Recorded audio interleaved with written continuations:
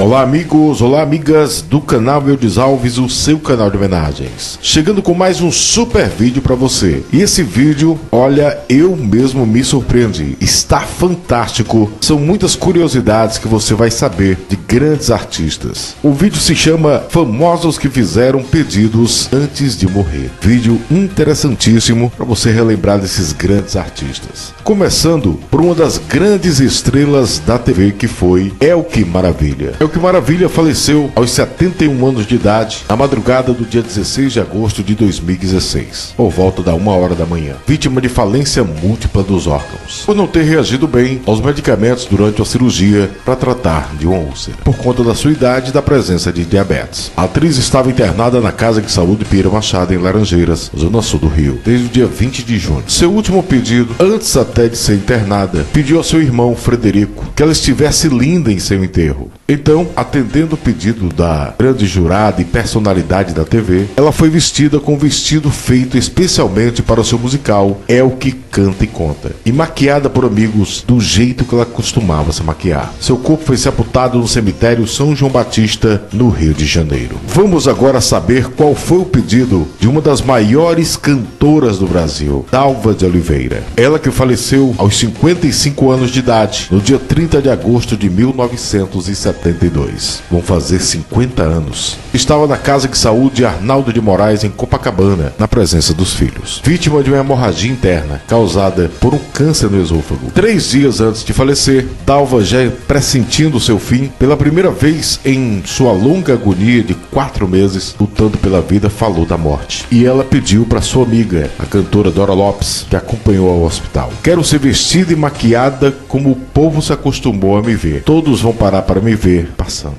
Ela foi sepultada no cemitério Jardim da Saudade de Suacape, no Rio de Janeiro. Inclusive, nós temos homenagem mostrando seu túmulo. Vamos falar agora do ator Paulo Goulart, um dos maiores atores do Brasil. Ele faleceu dia 13 de março de 2014, aos 81 anos de idade. Lutou contra o câncer desde 2008, quando os médicos descobriram um tumor nos rins. Desde então foram várias internações, tratamento intensivo, mas em 2012 foi diagnosticado com um tumor do mediastino. O ator estava internado desde o dia 8 de janeiro de 2014, no Hospital São José, em São Paulo, vindo a falecer no dia 13 de março de 2014, em decorrência do câncer. Paulo Goulart foi casado com a grande atriz de Sete Bruno por muitos anos e fez um pedido à sua esposa antes de falecer: viva muito, trabalhe como você gosta e não perca sua alegria. E assim ela fez. Continuou trabalhando e cuidando da sua família. E agora, na sequência do nosso vídeo, vamos falar de Sete Bruno, ela que faleceu seis anos depois do falecimento do seu esposo. Ela estava internada na Casa de Saúde São José, no Maitá, na zona sul do Rio, com Covid-19. Faleceu no dia 20 de dezembro de 2020 no Rio de Janeiro, aos 87 anos de idade. Complicações da doença. A pedido da atriz, seu corpo foi velado e cremado em cerimônia reservada à família. A atriz foi cremada no cemitério da Penitência, no Rio de Janeiro, e suas cinzas foram levadas para São Paulo para serem colocadas no jazigo onde encontrava-se seu esposo, falecido seis anos antes, no cemitério da Consolação em São Paulo. Que prova maravilhosa de união entre os atores Nissete Bruno e Paulo Goulart, dois mestres em interpretação. Vamos falar agora de mais uma lenda da TV e foi Tarcísio Meira, que também faleceu vitimado pela Covid. Em 6 de agosto de 2021, o casal foi internado no Hospital Albert Einstein em São Paulo, após a confirmação do diagnóstico de Covid-19. Segundo o boletim do hospital, divulgado no dia 10 de agosto, o ator encontrava-se na UTI, contando com apoio de ventilação mecânica invasiva e diálise contínua. E em 12 de agosto, seis dias depois da internação, Tarcísio faleceu vítima da Covid, aos 85 anos de idade. Glória Menezes, sua eterna companheira, recebeu alta quatro dias depois, já sabendo do falecimento do marido. Tarcísio Meira foi cremado em uma cerimônia privada no cemitério Horto da Paz, em Itapicirica da Serra. E pouco antes de falecer, ele pediu, caso falecesse, ele fosse cremado e suas cinzas jogadas na fazenda de propriedade do casal em Porto Feliz, onde eles eles viviam. Grande Tarcísio Meira. Outro grande ator, um mestre realmente da TV, Nelson Xavier. Ele faleceu aos 75 anos de idade, vítima de um câncer no pulmão, em 10 de maio de 2017. Em Uberlândia, no interior de Minas Gerais. Foi cremado no Memorial do Carmo. O seu pedido, inclusive, tem a matéria da sua viúva, a cantora Via Negro Monte, casado com um ator há 20 anos. Ela destacou ao Globo, ao G1, embora eles tivessem combinado, né? Ele seria cremado com um terno que ganhou o irmão de Chico Xavier e usou em um dos figurinos do filme sobre o médium. Acabou ocorrendo um desencontro. Ela explicou a mudança deles. O Rio para Uberlândia estava em transição, estava chegando em Uberlândia e eles já estavam voltando para a cerimônia no Rio de Janeiro, quando ele foi cremado no Memorial do Carmo. Então ela não pôde cumprir essa parte, mas ela sentiu que era para que ela guardasse essa lembrança com ela, disse a cantora Via Negramonte. Que saudade do Nelson Xavier. Papéis marcantes na TV e no cinema. Inclusive, Chico Xavier ficou perfeito. Ele incorporou realmente o Chico Xavier. Francisco Milani, um dos grandes humoristas do Brasil. Milani faleceu no dia 13 de agosto de 2005, aos 68 anos de idade, no Hospital Barra Dó, na Barra da Tijuca, no Rio de Janeiro, devido a um edema pulmonar, consequência de um câncer retal metástico. Atendendo o seu último desejo, que o velório seria curto, durante apenas duas horas, e ele fez o pedido que os presentes terminassem o velório cantando o hino da Internacional Socialista e do Corinthians, seu time do coração. Que seu corpo fosse cremado e suas cinzas jogadas no mar. Grande humorista. Ele foi cremado, crematório do Caju. Gal Costa, grande nome da MPB. Gal Costa faleceu no dia 9 de novembro de 2022, aos 77 anos de idade. Seu pedido foi muito simples, antes de falecer, que a causa do seu falecimento não fosse divulgada de forma nenhuma pela família nem do hospital. Gal Costa foi sepultada no cemitério Venerável Ordem Terceira Nossa Senhora do Carmo de São Paulo. Grande cantora, Gal Costa. O Querido humorista Orival Pessini, o nosso eterno fofão da turma do Balão Mágico, e claro, o patropi da escolinha do professor Raimundo e da Praça Nossa. Ele faleceu no dia 14 de outubro de 2016, aos 72 anos de idade, após ser internado no Hospital São Luís, em São Paulo, para tratamento contra um câncer no baço. O seu pedido, eu acho, creio eu, que é um dos mais conhecidos aqui do nosso vídeo, que após a sua morte, as máscaras e os moldes de seus personagens fossem destruídos. Era um desejo do ator e temia que alguém fizesse mau uso do material. O ator não queria de forma nenhuma que outra pessoa vivesse seus personagens. Grande Orival Pessini, ele foi sepultado no cemitério Getsemane, em São Paulo. O nosso querido Tom Veiga, o eterno Louro José, que saudade, né? Faleceu após um AVC em decorrência de um aneurisma cerebral aos 47 anos de idade. No dia 1 de novembro de 2020, ele foi encontrado sem vida em sua casa. E segundo a postagem do Jornal Extra, cinco meses após o falecimento, de Tom Veiga, dia 6 de abril de 2021, em um áudio do criador de Louro José para um amigo, ele revelou que queria tirar a sua ex-mulher do seu testamento. Porém, Tom não teve tempo para resolver isso. Mas eu vendo aqui uma matéria do Léo Dias, postou no dia 8 de janeiro de 2023 que a justiça tirou o poder né, da viúva gerir a herança do ex-marido. A coluna do Léo Dias de que foi substituída pela filha do primeiro casamento de Tom Veiga, Amanda Veiga, como inventariante do espólio do ator. Bem na matéria, fala que poucas semanas antes dele falecer, ele já estava separado, mas não chegaram a assinar os papéis do divórcio. É uma grande perda. Ele foi sepultado no cemitério Horto da Paz, São Paulo. O ator Gilberto Roberto Martinho, grande ator também. Ele faleceu de um câncer pulmonar em 19 de agosto de 2001. O ator estava internado no Hospital Copadó desde o dia 31 de julho de 2001 e por duas semanas vinha sofrendo com complicações causadas pelo enfisema. O pedido de Gilberto Martinho despediu-se da família, preparou um testamento e pediu para ser sedado. Já vinha sofrendo, né? E fez o pedido para que fosse sepultado com roupas brancas e sem sapatos. E assim foi atendido. Ele foi sepultado no cemitério de Barra do São João, da região dos Lagos, no Rio de Janeiro. Segundo Wikipedia, ele tinha 74 anos de idade. Por Carlos Alberto, também outra lenda da TV. No final de 2006, ele foi diagnosticado com câncer, já estava avançado, que tiraria sua vida em 6 de maio de 2007. O pedido que Carlos Alberto fez foi que a sua morte só fosse divulgada um mês depois, coroando assim a descrição que marcou sua vida. E assim foi feito, divulgado o seu falecimento um mês depois pelos familiares. Carlos Alberto tinha 81 anos de idade. Nosso grande apresentador e grande humorista, Jô Soares, que nos deixou muito recentemente.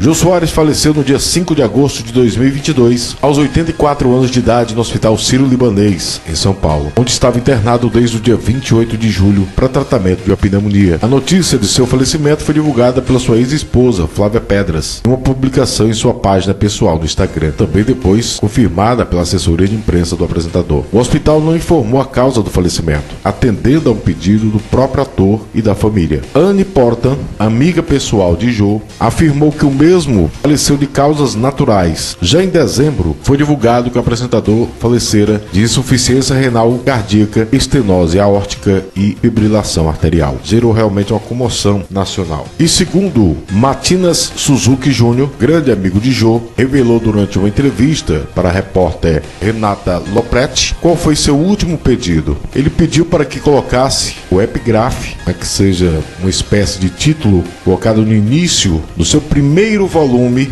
do livro que ele iria lançar. Colocasse uma frase do ator inglês Edmund Green. Quando estava no leito de morte, disse a seguinte frase: Morrer é fácil, duro é fazer comédia. E uma das últimas frases que ele falou foi repetir essa frase. E essa frase é muito reveladora do que é o Jô. Viver não é tão importante. Importante é a comédia, completou Suzuki. Grande Jô Soares. E nós perdemos aos 84 anos de idade. Regina Dourado, que atriz maravilhosa. Regina foi diagnosticada com câncer de mama, sua mama direita, em 2003. Cerca de sete anos depois, o seio esquerdo foi comprometido pela doença. A atriz então internada no dia 20 de outubro de 2012, devido a complicações decorrentes do câncer, no Hospital Português de Salvador. De acordo com seu irmão Oscar Dourado, Regina estava em fase terminal da doença e era mantida sedada em um quarto da instituição.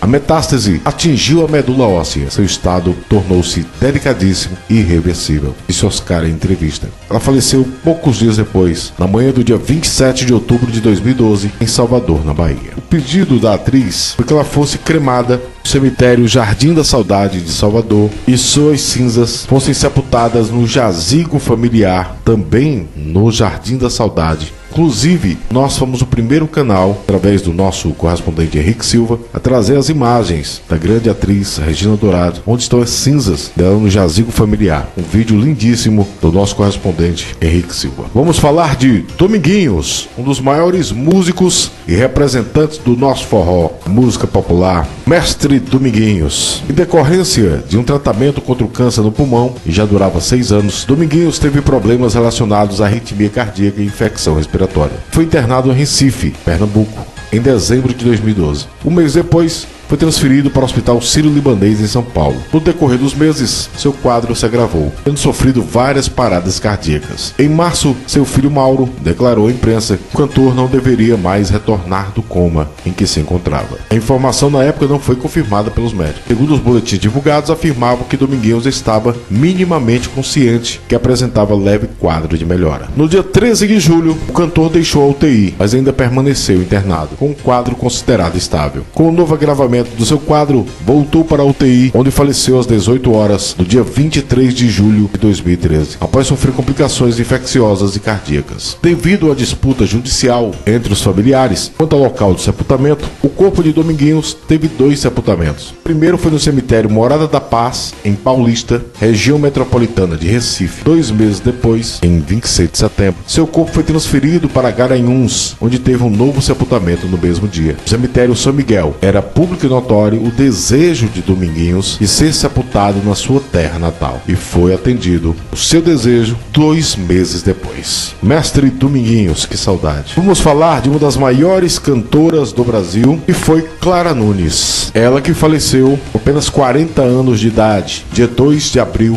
de 1983, na Clínica São Vicente, no Rio de Janeiro. Ela havia permanecido 28 dias em estado de coma, cometida pela morte cerebral. Sofreu uma anafilaxia durante uma cirurgia para retirada de varizes nas pernas. A causa do falecimento por insuficiência cardíaca devido à anafilaxia ao alotano, que foi apresentada no atestado de óbito da cantora. No atestado, colocou a hipersensibilidade ao alotano, gás administrado durante a cirurgia com anestésico. Gerou uma grande comoção e muita especulação na época o falecimento da grande cantora. Então, às quatro e meia da manhã, Clara Nunes faleceu vítima de insuficiência cardíaca, 28 dias em coma. Ela foi velada na quadra de samba da Portela, sua escola do coração. Segundo o Wikipédia, que tem essas informações, Paulo César Pinheiro, que era o esposo de Clara, não decidiu entrar com o processo para uma investigação maior, porque ele teria que autorizar a exumação do corpo Clara Nunes. E seguindo a orientação a própria cantora, ele não permitiu que isso fosse feito. Ela teria dito para ele, feito o pedido, após o falecimento da jovem cantora Elis Regina, ela falou para ele: Me enterre como eu estiver, mas não deixe que me cortem. Por esse motivo, ele não autorizou a exumação da cantora Clara Nunes. Ela foi sepultada no cemitério São João Batista, no Rio de Janeiro, e até hoje é um dos mais visitados do cemitério São João Batista. Cantora muito querida, Clara Nunes. E para encerrar, o vídeo de hoje, eu deixei para o final esse apresentador a qual eu tenho um carinho muito grande, porque para mim foi um dos maiores e mais populares apresentadores do Brasil. E foi o nosso querido Edson Cabarite, o Edson Curio Bolinha. E eu sempre admirei o trabalho também da sua filha, Vitória Cury, a qual tem um carinho muito especial. Ela todos os dias mantém viva a memória do seu pai e graças a Deus hoje eu tenho um contato direto com ela através do WhatsApp, acompanha o nosso canal. Eu tenho um carinho muito grande e eu quero agradecer sempre do seu carinho, sua atenção, tá com um amigo Eudes Alves. Também mandar um abraço especial aqui pro Dante Villarroel, que também é um fã de Bolinha, também é um dos administradores da página dos fãs do Bolinha e também tem a TV que você não vê que ele administra. Muito obrigado a você pelo carinho, Dante. Vamos falar de Bolinha. Faleceu às 2 horas e 30 minutos do dia 1 de julho de 1998, aos 61 anos de idade, apenas 15 dias antes de completar o 62º aniversário, vitimado por um câncer no aparelho digestivo. Ele estava internado no Hospital 9 de Julho para tratamento da doença que havia sido descoberta três anos antes antes de seu falecimento. Nos seis meses antes de falecer, a doença havia se agravado. Bolinha teria sido pedido para ser sepultado num cemitério popular. Ele foi sepultado em Areia Branca, no cemitério de Santos. Segundo a própria filha, Vitória Cury, disse em entrevista, relembrou em entrevista ao canal da Lisa Gomes, que colocou,